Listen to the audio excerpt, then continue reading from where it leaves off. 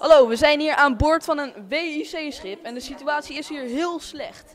Er zijn, het is hier overvol beladen, er zijn bijna 700 mensen op dit schip.